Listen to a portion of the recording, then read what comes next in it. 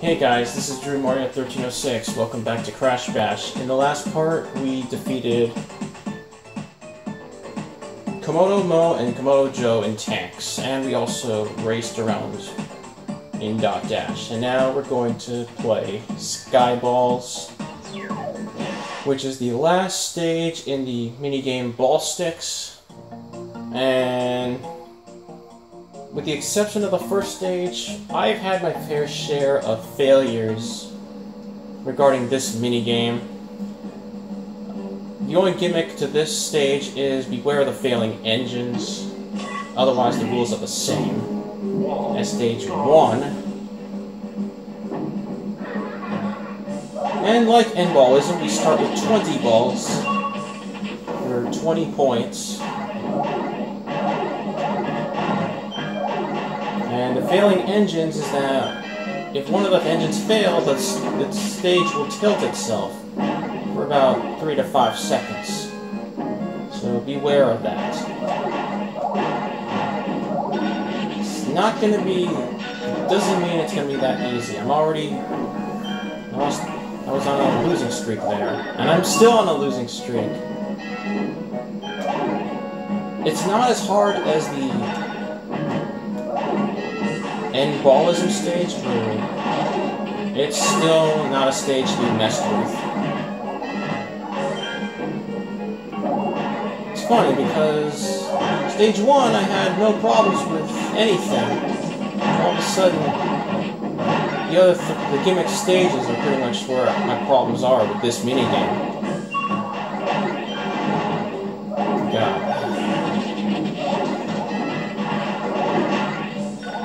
One thing I will not do is collect the Crystal Challenge. I'll just... Because the Crystal Challenge of this stage is really difficult. Oh boy. I'm really focusing more, although... Man, that, was, that was a glitch, I think. That should have gone into Tiny's goal, honestly. Uh, but at least he's out. It's anybody's game at this point.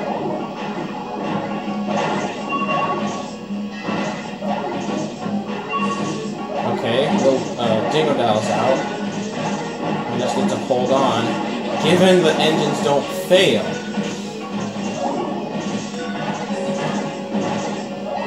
Nope. Not that time.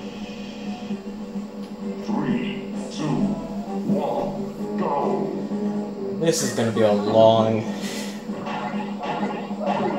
It's gonna be a long episode, I bet you. We'll see. I might... No, I, I intend to get the gem challenge. It's the crystal challenge I, I'm not gonna worry on. You'll understand by the time... By the time we get to it.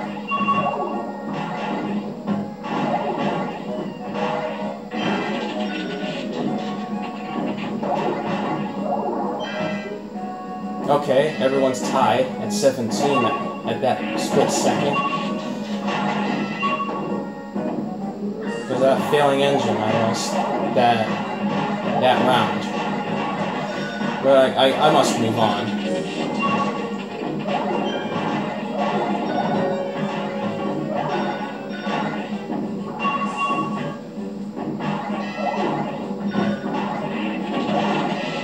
I'm in last place right now. Well, was. I was in last place. Tiny's... I need to drop Tiny's score. Of course, it's going into my golf because of me. He still has 15. Everyone else is about to lose at this point.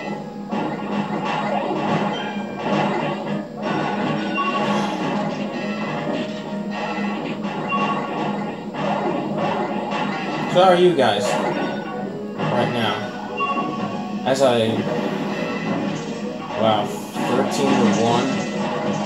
Anyway, how how are you guys? Well, right now I'm I recorded this over the weekend right now, and I have nothing to do, to be fair. so I was like, okay, let's get some Crash Bash episode. Let's get another Crash Bash episode in. So I decided, alright, let's do that. Because other than doing errands, all the only thing I did was like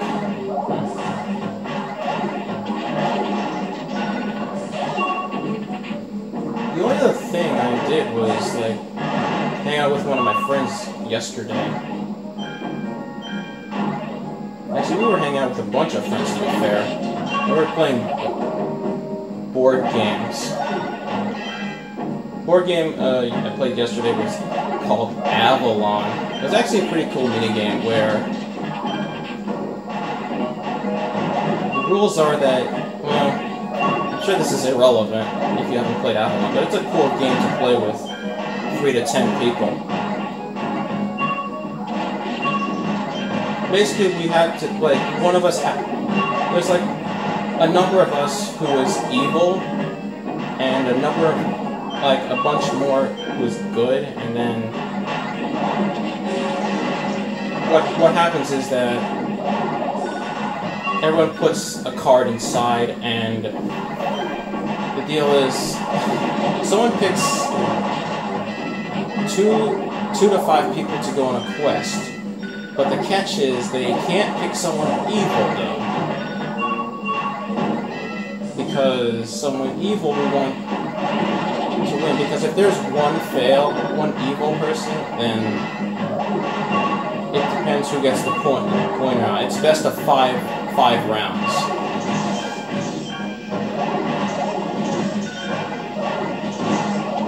Here's the catch, though. The evil person can pick if he's a good person or an evil person, or in this case, succeed and fail.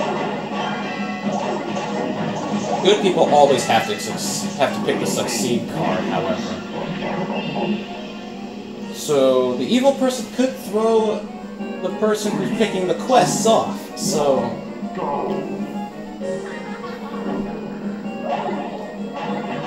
if you play, if you've heard of the game before, I'm sure you know what I'm talking about. If you haven't, it's...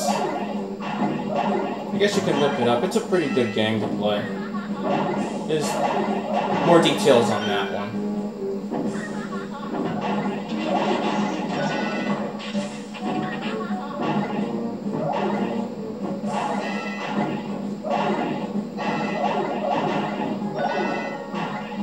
this is a long mini game. It's even longer with 20 balls. I mean, I would have been fine with the 15s to be honest, because the game is exactly played like the first stage. No, it's the same reason why stage 1 was set with 15.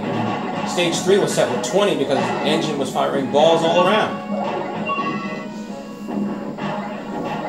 Well, at least the gem challenge doesn't require that.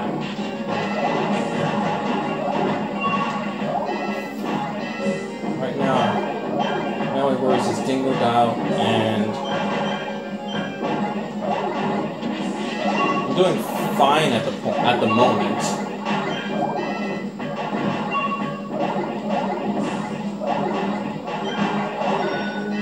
Until now. Well, no, I'm still doing fine. I just have Dingo Dingodile to worry about, as both of them are knocked out. Huh. Oh. oh Tiny. That is not, not something I want at the moment. Right, there we go.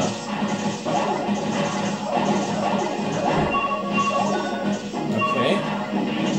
Alright, in my favor. Still can't fall for it though.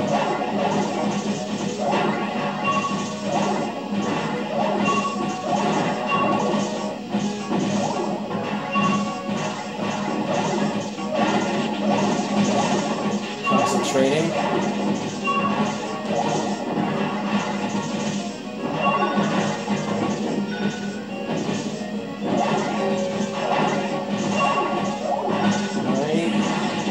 Oh!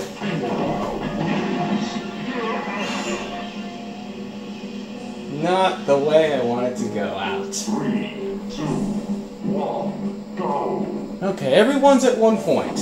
Okay. Fine. I'll take that. I'll settle with that.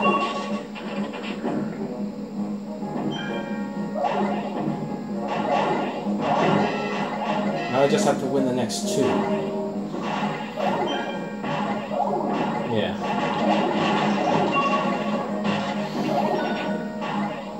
One game I also one board game I also liked is I don't know if you played a King of Tokyo, but King of Tokyo is another fun game to play with others, friends. It's basically that you have to achieve victory points while having a life meter. Here's the catch. If you stay in the city, like, there's like a city space, I think, and there's like an outside space. Like you only earn points if you're in the city space, but you can also get attacked in the in the city space. So that might drain. That might also take your life meter away.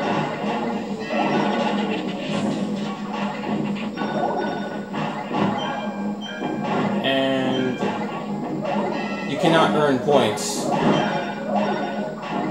cannot earn points if you're outside of the city. So yeah, that's the catch. That's another interesting game. There are more details into it.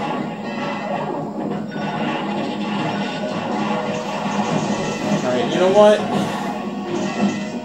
I am. Just tell you. You know what? I can just force the victor right now. So why am I wasting time at this point? Just give it to Dingodile because at this point, Tiny's gonna lose all his points.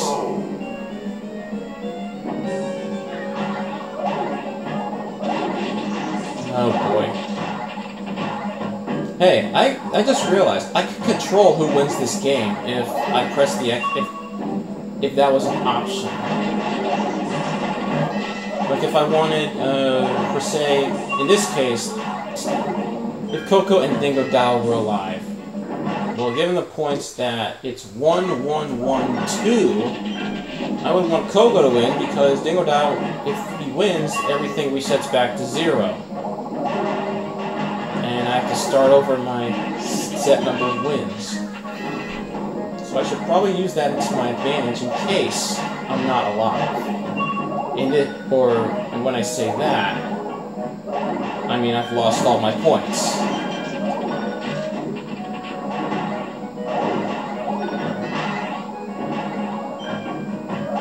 By the way, the background, believe it or not, is the same background in stage 17 in Crash Bandicoot Warped. It's the same same area where Coco actually had to fly her plane. I have done a Let's Play of Crash Bandicoot so check it out. In case you, you don't know. And this is not good. Dingodile's winning right now. And if I do lose, then I'm just gonna cut until. No, I only had one victory, so I'll probably cut until I get my second victory, or better yet, get the trophy anyway. So yeah. That's if Dingodile wins. Okay, this is not. Wait, I have. I have control. Tiny just has to survive. Nope, he's not surviving. Well, that sucked. Looks like I have to start over again. I guess I'll meet you back somewhere where I'm actually achieving that trophy. Well, guys, from the looks of it, this is going to be an easy victory this time compared to the last time. I don't know why I sucked so badly last time, because I went 3 0 in that one. but yeah, that was just the trophy challenge, so now we move on to the gem challenge. And I'm pretty sure you can tell what the gem challenge is by now because, as usual, the odds are against us. And, of course, the computer players will be harder. And, of course, we start with the scores of 15, of 15 to 9. Three, Well, at least they kept it 15 to 9 this time, instead of the 20 to 15 from the last time. I hope this won't be as bad as the last time, although I can't promise you that after what happened in N. Ballism. It's just, I already lost one, one ninth of my points right already. Just gonna play hard. Anyway, back to the board game talk. We up a lot of board games, to be fair. Like, well, Bingo isn't really a board game, but I did play that when I was younger. Also, chess and checkers. I wasn't really good ch- at chess or checkers, really. You really have to master the game in order to because one simple move can actually make you lose the game.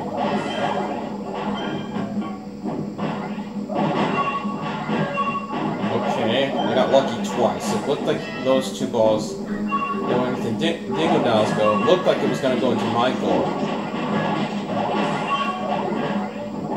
Yeah, I grew up with games like Bingo. I actually played a Monopoly, which is obvious. But I also had Trouble, Battleship.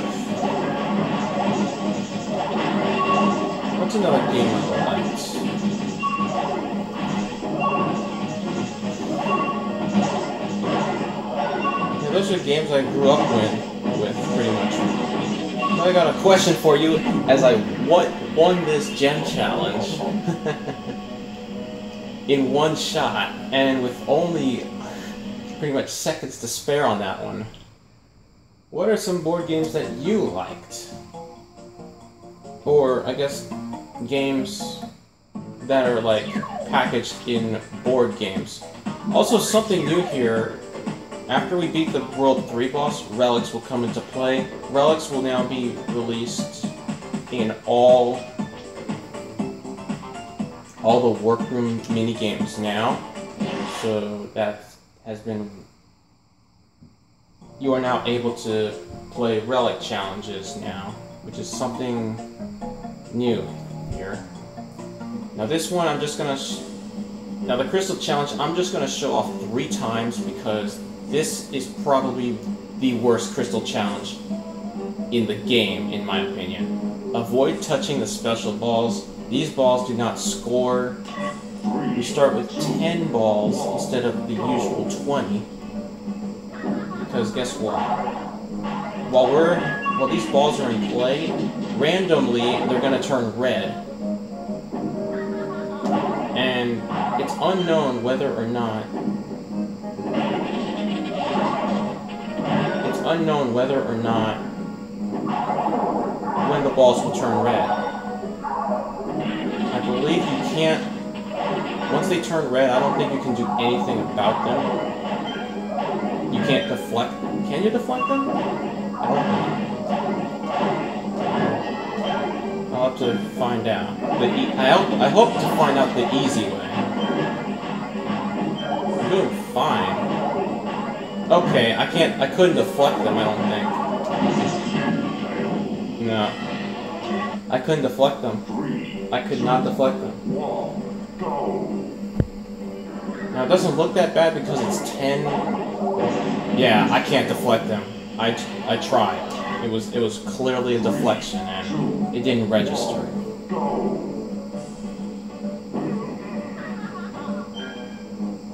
Well, that was easy. Well, that was fortunate there. By the way, this is my third attempt, so uh, there you go.